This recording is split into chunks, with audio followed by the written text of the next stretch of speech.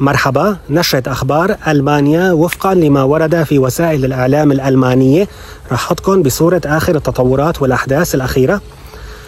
الخبر الأول من بولندا بولن اللي بتعرفوها الدولة الجارة لألمانيا. عندهم انتخابات الأسبوع المقبل أو الأحد المقبل. في عندهم انتخابات في في في البلاد يعني انتخابات للحكومة. ولكن الحكومة الحالية الحاكمة فيها حزب هو حزب القانون والعدالة هو أقوى حزب في بولندا. هذا الحزب عم يروج لخطاب كراهية ضد الألمان وضد ألمانيا. عم بنشر خطاب كراهية عم بيقول إنه ألمانيا آه عم بتسيس الاتحاد الأوروبي، ألمانيا، الاتحاد الأوروبي تابع لألمانيا، الاتحاد الأوروبي بيشتغل على كيف ألمانيا، عم يتهم ألمانيا يعني تهم من هذا النوع. وعم بيشحن المواطن البولندي كمان عم بيقول له إنه شوف الشعب الألماني يعني كيف آه هذا الشعب احتلنا وقسبنا وهاجمنا أكثر من مرة. يعني عم بيرجع لشغلات قديمة في التاريخ عم بيرجع بالذكرى يعني في خطابه خطاب الكراهية. وهذا الشيء اللي أثار استياء وغضب الألمان يعني ونشروا هذا الخبر في وسائل الإعلام الألمانية عن الشيء اللي عم بيعمله هذا الحزب. طبعا حزب القانون والعدالة هو حزب له تأييد كبير ببولندا يعني كان بيجيب سابقا بالانتخابات نسبة 43% حتى ولكن الآن متراجع شعبيته ل 32% بحسب آخر آخر استطلاعات الرأي ولكن لا تزال نسبة مرتفعة ولا يزال هو أقوى حزب في البلاد. وطبعا هذا الحزب له سوابق في نشر خطاب الكراهية في عام 2015 استغل الفرصة كمان اللي هي ذروة اللاجئين كانت في 2015 اللي اجوا لاوروبا استغل هذا الشيء كمان لا ينشر خطاب الكراهية بحملته الانتخابية ضد اللاجئين والمهاجرين أظهر يعني عداءه للمهاجرين واللاجئين. ولاحقا في عام 2019 بلش يتوجه بخطاب الكراهية ضد المثليين والمتحولين جنسيا. يعني صار يهاجم هالفئة من المجتمع لأنه ما كان في وقتها ذروه للاجئين أو شيء بيتعلق باللاجئين والمهاجرين. فراح على موضوع ثاني هاجم المثليين والمتحولين جنسيا وصار يستغل يعني هالأمر في حملته الانتخابية بنشر خطاب الكراهية ضد هالفئة من المجتمع.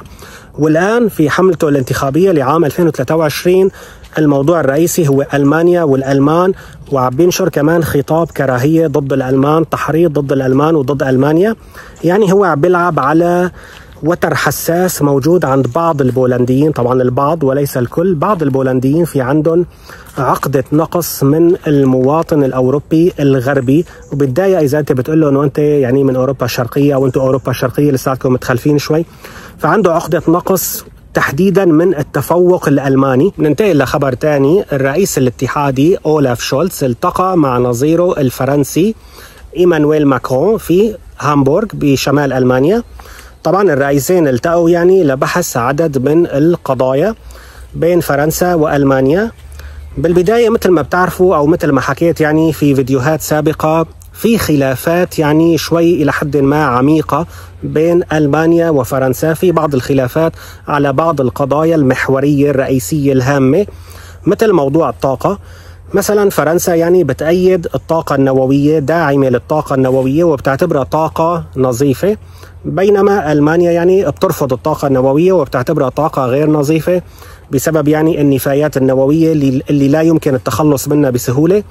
فلهيك ألمانيا يعني قررت الاستغناء عن النووي بينما فرنسا يعني لا تزال بتعتمد على محطاتها النووية. ففي بيناتهم يعني اختلافات بموضوع خلافات بموضوع الطاقة. وفي بيناتهم كمان خلافات تتعلق في آه، الحرب الأوكرانية وفي خلافات أخرى تتعلق بقضايا اللجوء والهجرة. طبعا هذا يعني مو حديثنا اليوم مو خبرنا اليوم ولكن على الرغم من كل هالخلافات يعني فالأخبار الواردة يعني بنتائج هذا اللقاء بتأكد على الصداقة العلمانية الفرنسية بالإضافة إلى الدفاع عن الديمقراطية يعني هي نتائج اللقاء. بالإضافة إلى تعزيز سيادة أوروبا واستقلالية أوروبا. يعني الرئيسين طبعا هن الرئيسين أقوى دولتين في أوروبا اقتصاديا. فرنسا وألمانيا يعني هن اللي عم بيقودوا الاتحاد الأوروبي.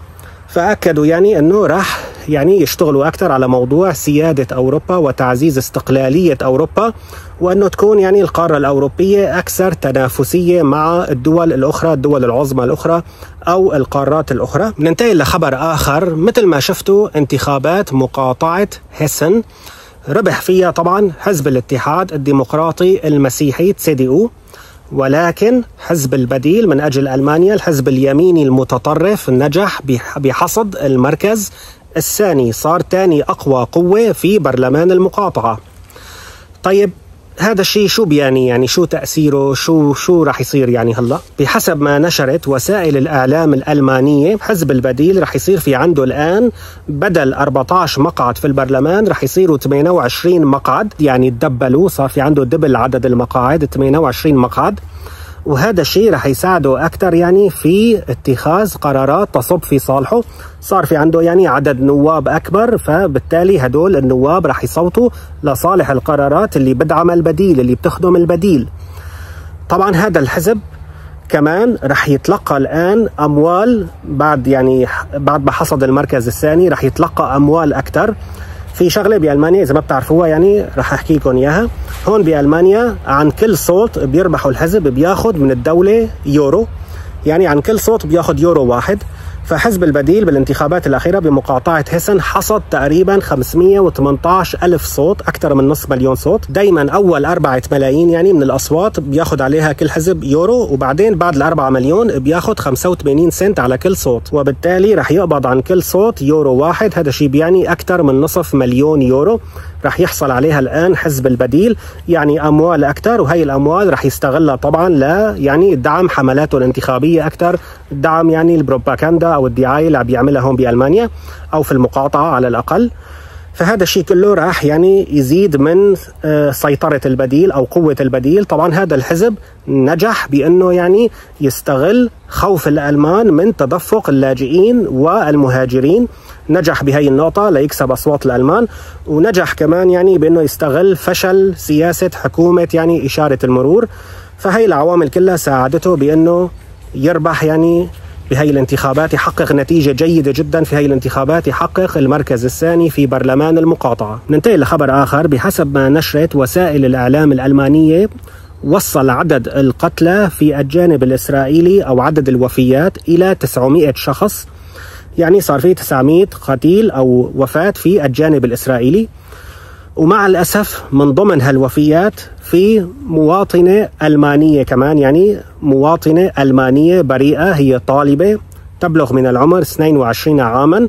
كانت في زيارة لإسرائيل كانت يعني مقيمة في على الحدود مع غزة مع صديقة البريطاني وكانت عم بتخطط يعني ثاني يوم لرحلة العودة لألمانيا. ولكن حصل الاجتياح المفاجئ من حماس.